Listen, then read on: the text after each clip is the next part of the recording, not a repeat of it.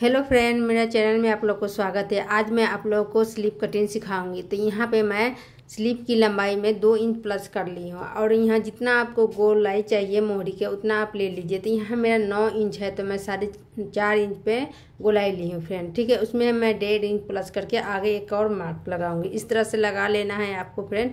उसके बाद में देखिए, नौ इंच मैं चौलाई रखी हूँ। इस तरह से आपको रखना है और साइड से आपको तीन इंच नीचे डाउन की तरफ़ लेना है और इस निशान को मिला लेना है इस तरह से।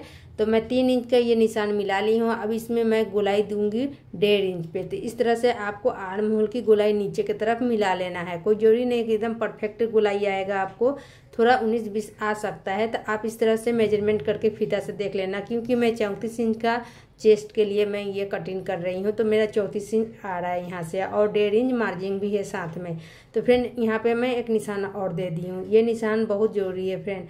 और इस निशान को मैं मिला के इस तरह से गोलाई दे दी हूँ, ठीक है फ्रेंड? अब ये सिलाई वाली मार्क को मिला लेना है तो ये हो गई सिलाई के लिए मार्क और एक होगी कटिंग के लिए तो ये कटिंग के लिए भी मार्क मैं कर ली हूँ तो दो मार्क कर ली हूँ फ्रेंड तो इसको नहीं कट करना है, बस बाहर वाला कट करना है आपको।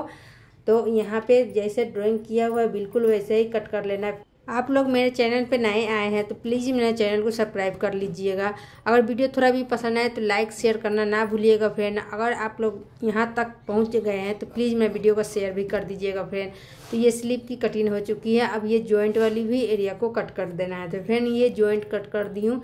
फ्रेंड यहाँ पे थोड़ा सा छोटा सा कट लगाना होता है सेंटर में और यहाँ पे जो सिलाई की मार्क होती है। तो दोनों जगह में छोटा छोटा कट ज़रूर लगाना फ्रेंड अब हम आर्म होल की फ्रंट साइड में दो पीस उठाएँगे और इसमें मार्क लगाएँगे हाफ़ इंच का। इस तरह से बिल्कुल गुलाई की जैसे ही लगाएँगे और इसको कट कर देना है। क्योंकि ये आर्म होल झोल ना दे, इसलिए कटिंग होती है। तो देखिए फ्रेंड दो मैं कट की हूँ, दो छोड़ दी हूँ। इस तरह से स्लीप की कटिंग होती है फ्रेंड तो उम्मीद करती हूँ आज की आपको थ्री क्वार्टर बाजू कटिंग आ गई होगी। बाजू उसी को बोलते हैं, स्लीप को कटिंग बोलते हैं। तो यहाँ पे मैं देखिए, कुर्ती कटिंग करके पहले से रखी हूँ तो ऊपर से शोल्डर जब फोल्ड करूँगी और यहाँ से ज्वाइन करूँगी आर्म होल में तो एकदम परफेक्ट आएगा फ्रेंड तो इसीलिए आप लोग को जब भी फोल्ड करना है, नौ इंच पे फोल्ड करके बाजू कटिंग करना एकदम परफेक्ट आएगा फ्रेंड तो यहाँ देख सकते हो, मैं यहाँ पे दाग लगा के आपको दिखा रही हूँ।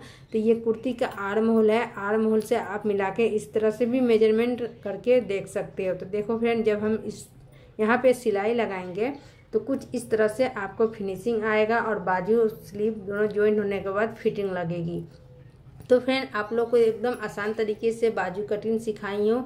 तो फ्रेंड यहाँ पे बाजू की कटिंग आप लोग को आया कि नहीं आया कमेंट करके ज़रूर बताना और मेरा तरीका कैसा लगा। फ्रेंड तो मिलती है अगली वीडियो में। बाय बाय खुदा हाफिज। जब तक इन्जॉय की